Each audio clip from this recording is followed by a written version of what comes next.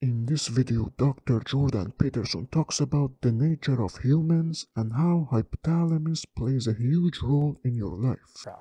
Right, and that's kind of, there's a philosopher named Hobbes, who I suppose in some sense was a centrally conservative philosopher as opposed to Rousseau, who's kind of his exact opposite. Rousseau believed that people were basically good uh, in their natural state, so he believed nature was basically good, and he believed that culture was what corrupted people, and, and so and uh, uh, Hobbes, Thomas Hobbes believed exactly the opposite. He believed that in the state of nature, let's say, every person was at every other person's throat and the only thing that prevented continual chaos was the imposition of a, of a collective agreement, that would be the social contract, that essentially governed how people would interact and that would keep that underlying chaos at, at bay.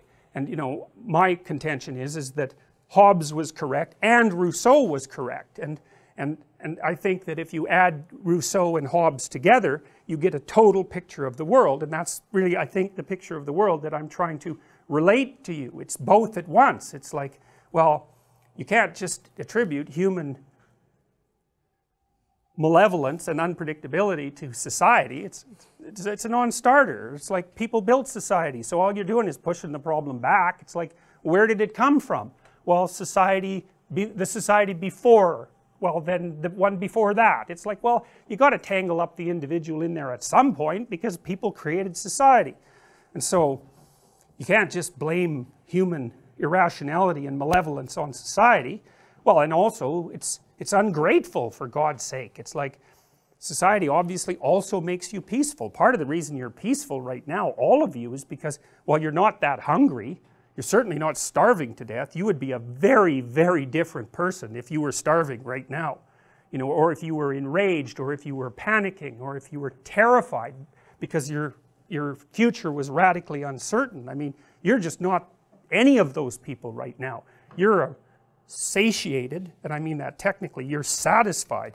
None of your biological systems, except perhaps curiosity, which is a rather pleasant emotion, are activated in the least and, you know, because of that, you all think, well, you're in control of yourself. But don't be thinking that. That's just not right. I mean, if you look at how the brain is structured, for example, the hypothalamus, which is a really important part of the brain, it basically, it basically establishes the framework of reference and the actions, the framework of reference within which and the actions you take in order to fulfill basic biological needs. So the hypothalamus makes you thirsty and the hypothalamus makes you hungry and it makes you sexually aroused and it, it puts you into a state of defensive aggression and it, it actually also makes you explore and be curious. All of that's hypothalamic. It's an amazing structure and then and, and it's really small and it's right at the base of the brain.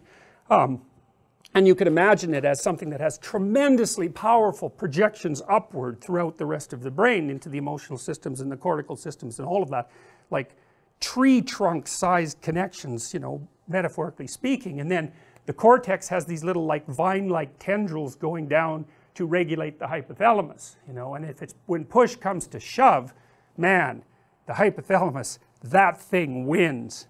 And so, you know, you get people now and then who have a hypothalamic dysfunction, and one of them produces a condition called, um, I can't remember it, it's not dipsomania, although it's, it, it's like that, doesn't matter it produces uncontrollable thirst. And so what will happen is that people who have this hypothalamic problem will drown themselves by drinking water, which, which you can do, by the way. Uh, and so they just cannot get enough water. And there's no stopping them, right? No, no more than there would be stopping you if you were suffering from raging thirst. It's like, it's a happy day when the hypothalamus is not telling you what to do. And you know, you live in such a civilized state that most of the time, roughly speaking, you're tranquil and satisfied and more or less you can imagine yourself as a peaceful, you know, productive, well-meaning entity. But don't be thinking that that's what you'd be if you were put in the right situation because that's just not right at all.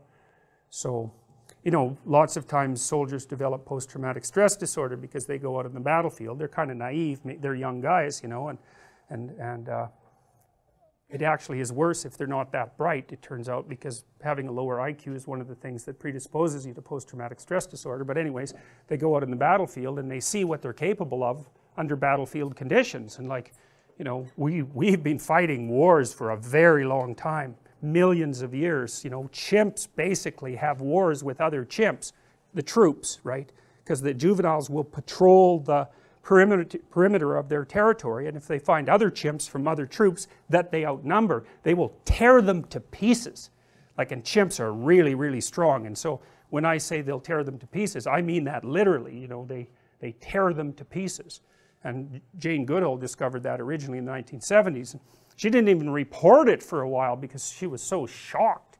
You know she kind of assumed like most followers of Rousseau that the human proclivity for warfare was part that part that was something that was uniquely human. You know it had something to do with our our unique self-consciousness or our intelligence or something like that. She had no idea that it was rooted that deeply. You know we, we split from chimps about six seven million years ago something like that. And so we were patrolling territory we were gang members seven million years ago and you know it, that that's that's minimum estimation because of course that ancestor shaded back maybe 20 million years into entities that were roughly primate-like.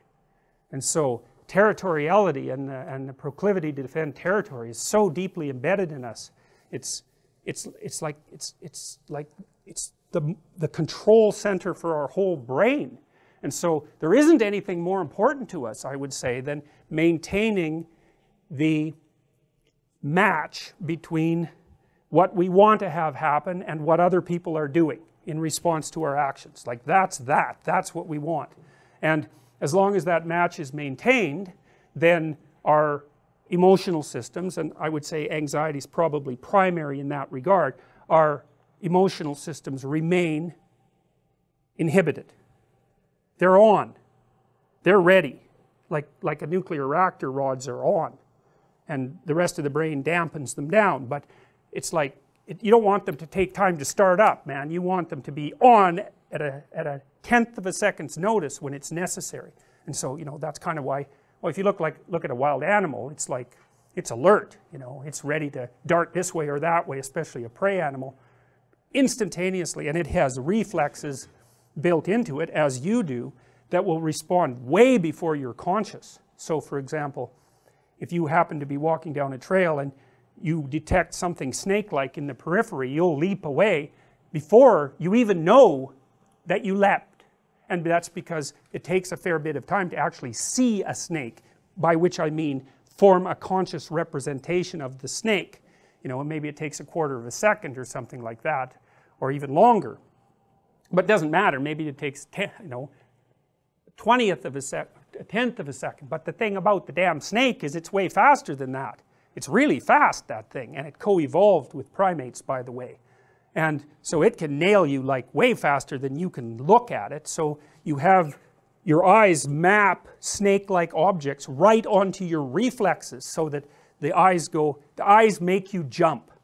And then they see after that. It's like, yeah, well, now you can see, that's no problem, you know. So, all right.